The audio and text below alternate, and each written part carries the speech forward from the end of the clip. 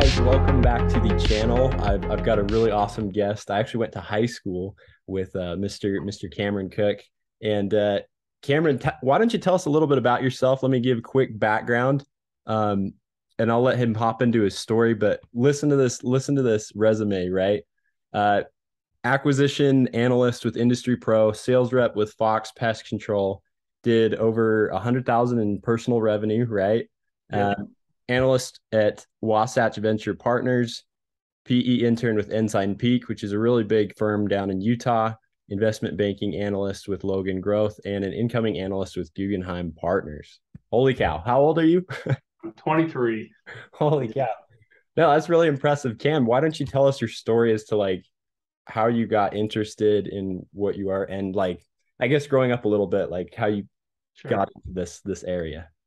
Yeah, so I'm pulling out my LinkedIn right now just to remember what I've done. But um, yeah, so grew up Pocatello, Idaho. Um, everyone around me that seemed quote unquote successful was a doctor or a dentist. And so if you didn't go to the medical school, you were doomed to be an accountant and make 30 or 40K a year. Um, that was just the, the mindset. Uh, but I decided to come to Utah State because my brother was doing pre-dental here, and so we roomed together um, our first year. Um, did about a year of regular uh, classes. Uh, a lot of it was like intro to biology and stuff like that. And then started the second year, my sophomore year. Um, went to donate plasma and they pricked my finger and I woke up underneath the table and I didn't even make it to the needle. It just pricked my finger and I was like, oh boy. Like, You're like, I'm not doing that. I don't know if medicine's for me. So had a couple other experiences like that. Um, and then like two weeks in, I was taking Gen Chem at the time and I was just like, I don't care about the periodic table and I need to do something else. So switched into business, started out in marketing. Um, had no idea what I wanted to do. Uh, did a couple internships um, the previous summer with actually my father-in-law. He runs a staffing company, and okay. he was going and buying different staffing companies. So that was my first exposure to like M and A, buying a company and, and, integrating it into a business. So I did that. Had a friend that did uh, uh, worked at University Growth Fund. Uh, it's called UGF. Um, but he's like, you should look into like uh, venture capital and private equity and that sort of stuff. I'm like, okay, I'll look into it. So I did a remote uh, banking internship at Industry Pro. Um, yeah, and I was just like basically sourcing, uh, trying to find different companies for their private equity clients. Um, when I got married, I was getting married around the time when I got married. After I bought my wife's wedding ring, we had two hundred and fifty dollars in our yes. and I was like, yeah. So it was that was a sad day. Um, luckily, we got Pell grants, but um, decided to do door to door to just kind of be able to have money to get through college. So uh, recruited a big team. Uh, ended up recruiting seven guys that stayed the whole summer. Um, in that team, I think it was me and that team combined did over half a million in revenue. Wow, uh, which was great. And then just I ended up selling pretty well. Um, did over 100k in, in, sales revenue, so that helped with the bank account to be able to sure. to do other things. Um, but I got back and realized um, summer sales probably wasn't a sustainable career path like most realized really quick. So um, yeah, I just started networking and got a, a job at Wasatch Venture Partners and just looked through financial statements and helped with that sort of stuff. Okay. Um, didn't seem like the best fit long term um, because they were based in Logan. We kind of want to live somewhere else. Um, but just yeah, just applied and uh, around that time I applied to University Growth Fund. Um, and I prepped. I did a case competition. We took second.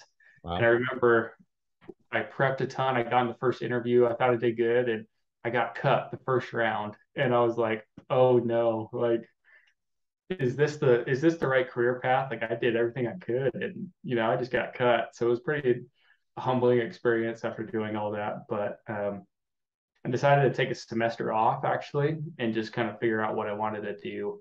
So that was this past spring, um, 2022, um, and just was working and, and trying to figure out what I wanted to do. And I went to a career fair at a private equity firm uh, down in Draper, and they were like, if you don't do banking or consulting, it's going to be very hard for you to break into private equity ever unless you like start a super successful business and sell it or something. Right. So that was kind of the the switch for me to be like, okay, I need to take banking seriously. And before that, I just kind of would go back and forth what I wanted to do. And I just decided if I'm going to do this, let's do it for real and do a good job. So applied Ensign Peak, they they run the churches, LDS churches uh, investment fund. Uh, got got an internship, was very grateful for that and learned a ton about private equity there and got to meet with a lot of private equity people um, and then apply to investment banking, uh, Logan Growth Advisors. That's what I'm doing right now. Um, it's a remote internship. It's been awesome. Learned a ton about everything banking. And around that time, I just was applying to um, get into Guggenheim Partners and just any investment bank for full time. Okay. Um, and yeah, just basically looked up a huge Excel list of banks that were good and just started applying and, and doing all the technicals to do well. And um, luckily enough, I, I did well in the first interview for Guggenheim. They flew me out, and then I did well enough in the Super Day. So I got the return the, the offer for next summer, and then hopefully that will lead to, to full time. So that's a little bit about me. I know that's a little bit longer than the normal story, but I'm sure we have enough time. So yeah. Yeah, no, that's that's great. And and that actually hops right into like my first question is is like what what do you feel like was the hardest part of of of breaking into because private equity is pretty elusive, like mm-hmm. very very selective with who they choose. So what would you say was it right place, right time? Was it like, hey, this is this is how I networked with people or this is how yeah. I up my resume? Like what what do you feel was the big pivot point for you? Yeah. Um I think the biggest pivot point was uh, like door to door sales for me was not going to be sustainable. and then I was like, I need to find a career path that's engaging, um, that pays well. And so, you know, I went from like pre med background, knowing nothing about business, to like trying to figure out banking, which seems daunting to a lot of people um, in private equity. So, um, what's not on my resume is like uh, around the industry pro time, I got cut from like three intern, three spots that I applied and worked really hard for. Got cut again, you know, around the UGF time, and uh, I uh, applied at Sorenson Impact. I'm not sure if you've heard of that. Just, I don't think so. Okay. Um, they're a firm and they're an impact fund in uh, Salt Lake um, at the U, but that was like around. I think it was after I did sales um, but I remember going in, I prepped this memo and it was like the worst memo ever. And they just sat me down and I just felt like an idiot for an hour. Like they would ask me questions and I couldn't back it up. So it was, it just felt like a year and a half of just feeling like an idiot. Like humiliation. it was like, but just being humble enough to like accept correction um, was like super big because it took me like a year and a half to like kind of figure out how to do it and then just buckling down and learning everything I could uh, kind of took me to the next level to be able to like get competitive internships and stuff. So well, no, I think it really goes to show your character and your work ethic because usually I would think that, you know, people would hit, you know, one, two, or three failed or rejections, right? Of looking, looking silly and thinking, okay, like I don't want to look dumb ever. And so would you say that that that was something that that set you apart from the crowd? What would you say like is has helped set you apart and and and really help you make you unique with your story. Yeah. So i think the the biggest thing is definitely like that grit. Um i remember when i was applying at guggenheim um i go in there and there's i pull up the list and the kids that place there they're like from like columbia and nyu and like schools like that. And top tier one. i get into the super day and everyone around me was like, you know, just big schools. And and then was like Utah State, and I'm like, oh, uh, you know, not very big at all. Um, but yeah, I was just sitting around, and then uh, in my interviews, we talked about golfing, my mission, and door to door sales. Weird. Okay. Yeah, like, and they were like, they saw that I had a good resume, but they they were like, they weren't used to seeing people being able to grind. And so like seeing them be like, oh, like you had 200 bucks. And then what, what did you do about it? You went and knocked doors for four months, like 16 weeks, just to make money to go through. While the kid next to me, a lot of them seemed like more like trust fund kids. Sure. Uh, and I don't know if they were or not, but that was just kind of the vibe I got. Was like they, like they didn't need to, like work hard to do that stuff, and I think that's kind of set me apart um, in that big interview right there. But yeah, just the grit and you know being okay. Like when you fail, you're gonna feel like an idiot, and they're gonna tell you what you did wrong, and then you can either be like, "No, you're wrong," or you could be like, "Okay, I feel pretty stupid right now."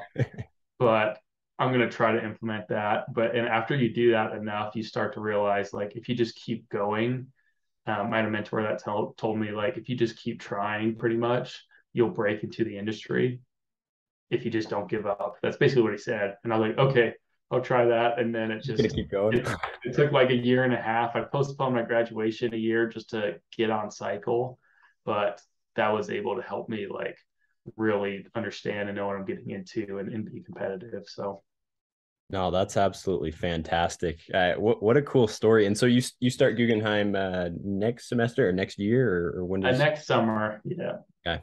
Yeah. yeah. that's fantastic. If you if you were to like, uh, I guess, boil down your experience, what what would you say that you've learned about yourself in this in this job hunt process or in this industry hunt process? Like, um, what what have you discovered, and like, where would you like to take this? Where do, where do you want to go with it? Yeah, so I think the biggest thing I've discovered is um, like it's good to try a lot of things. Um, I think sometimes we get set in that like, no, I'm doing this one path, and then you do it like three years later, and you're like, I hate this job, you know. So um, I always like recommend people to like do an internship or try to do an internship pretty much every semester, and just like no matter what it is, like you'll just like learn quickly. Um, there, there's stuff in like door to door sales that when I look, when we're like looking at a company or if I'm like looking at stuff, I'm like, oh, it reminds me of something I did in sales. Like, oh, the reason why door to door sales works is because they have a recurring business model and this is how they acquire customers. But it's like, I'm able to put a real life experience to it versus a, you know, like a textbook. So I always say, like, just try to do as many internships and different work experiences, even if it seems unrelated, um, it makes you more interesting than you know just doing like five banking internships and going in. It's like just try to do as much different things. Obviously, try to relate it a little bit, but it's it's good to do a lot. So, yeah. yeah absolutely. And and where do you see do you see yourself? Um, do you want to go work uh, at like Guggenheim for? Or or a big bank like that for for a long time for many years? Do you see yourself uh, starting your own fund or your own business? Like um, what what does what does future cameron look like in your head mm-hmm. yeah so i think the like the 20 year plan is like uh, i own a bunch of real estate and then i own some sort of business that just feeds into the real estate and i buy like I do like four days of that business and then I go in and on the weekends I just look at properties. Like that's kind of like the dream. And then I golf with people in between. Um, there's a lot of ways to get there. So um, I think for sure I'm definitely saying two years at Guggenheim, but if I really like what I'm doing, uh, I'll probably just stay on for a while and then just see what comes up. Um, we're kind of in no rush uh, for that. My wife wants to go to like nurse anesthetist school. She's in nursing school right now. Um, so it kind of just depends on like where she gets accepted and things like that. But definitely, definitely two years of banking. I would like to do private equity um, eventually um, in some capacity, either as an associate or later. And then I'd like to run a business eventually, and then kind of see after those six, seven, eight years at the beginning, see what I really like, and then just go and specialize um, into what I want to do, and that may uh, uh, include like an MBA at a top school or something. I don't know. I don't know yet, but um, that's kind of the track is two or three years banking. If I really like it, stay on. If I have a good opportunity for private equity, maybe I go do private equity a couple years, and then maybe go and join a business or go get an MBA and uh, try to get a big scholarship and then come back and then kind of see what doors open up. So that's where I'm at right now. Okay. all yeah. right. No, I really like that. Here, here's a here's a, a question that I think you you would enjoy as to like in what ways have you seen your private equity experience uh, affect your life? Like, I don't know if that's like personal life and I guess public opinion flipping over this way. Like sometimes I think public or private equity um, gets this gets this uh, rap as to just buying and consolidating businesses. But like, in what ways do you feel that private equity is beneficial to to the marketplace or to our society? Like, why why do you feel that it's important? Yeah. So the biggest thing, like, I remember I was having a conversation with someone, and they're like, I don't know why these private equity guys get paid all this money or these venture capitalist guys, and I'm like, you do realize like you invest in the S&P, right? And they're like, yeah, like of course. And I'm like, how do you think those companies got public? Right. and I'm like, so like it's just kind of like the process is, you know, they, there's like a venture capital, an early stage company, and then they either get funding or they don't, but they grow. But a lot of times they can't grow without funding to even get to the stage to become public, like investing in Airbnb wouldn't have been possible because I'm sure they had multiple rounds of funding prior to that, their IPO. Um, so that's where I think it's beneficial as it gets you those, it allows those really big stable companies to be public stock so everyday investors can invest um, in those stocks. Uh, that that's like the biggest thing for me is why I think it is beneficial um, because they just can't grow without the funding needed uh, to do so. Um, I can't remember your other question. Something to do like. oh, you're good. You're good. Has has your has your uh like has your significant other or people in your family been like, hey, like tone it down with the finance, or you're you're coming off very finance, or or have yeah. you ever like done it so much to where it's ingrained into your head to your like that you carry it over into your personal life? Like, oh yeah, oh yeah. Do you have oh, any yeah, yeah. funny examples of that? Yeah, I'm trying to think, but um yeah, I, I feel like my mind is like an Excel sheet that's open all the time. And I'm just like, like I'll see a pro like I walk by and see an apartment complex and I'm like, okay, I bet that is cash flowing this much per month. Here's why. Here's why it's a good or bad location. And then I just like walk by or I like see a company and I like think that.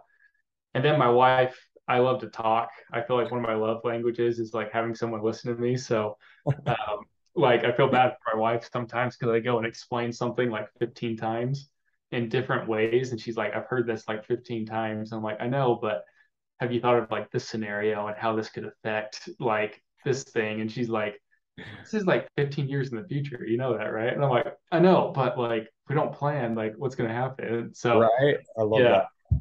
So I feel like it's like every day I'm always like, should we do this? Should we buy this? Why should we buy that? You know, stuff like that. Um, yeah. okay. No, that that's really cool. Uh, that's pretty much it. And and in terms of like, uh, I, I guess our audience uh, demographic is uh, about the same age as we are, maybe a little bit older, a little bit younger. Um, yeah. What advice would you give to our audience? Is there any like lasting words of of of oh, thought, wisdom. wisdom? Yeah. Sure. Um, yeah. So is most of your audience trying to go into something like banking or high corporate finance or something like that? So yeah, essentially, mostly mostly the individuals have been finance professionals and and banking and uh, private equity. I think we've got a, a growth fund and a, a, VC guy that we've interviewed. But yeah, anywhere from business to marketing, uh, generally just within people who want to progress, you know, with with a growth mindset, entrepreneur yeah. mindset. Yeah. So I think the biggest thing is like um, just like go and try a lot of things. Like when I look through my resume, um, like I think I have one, two, three, four, five, six, seven. I have seven things on my LinkedIn, and uh, six of the seven were jobs not posted in my school, like job postings. So like I would go apply to all the like Utah State jobs, get yeah. cut, feel like an idiot, and then have to go and find another opportunity and like network um, and and then I get these other opportunities that other kids don't get because it wasn't posted to 100 students, right? So um, I think that's the biggest advice is like just because you get cut. Um, I, like I remember one kid uh, just saying something like I was excited to go to one fund, um, and I thought it was like the coolest thing at the time. And then I worked uh, for the church, and I got to see a bunch of funds, and I'm like, oh, that was like not a good job at all.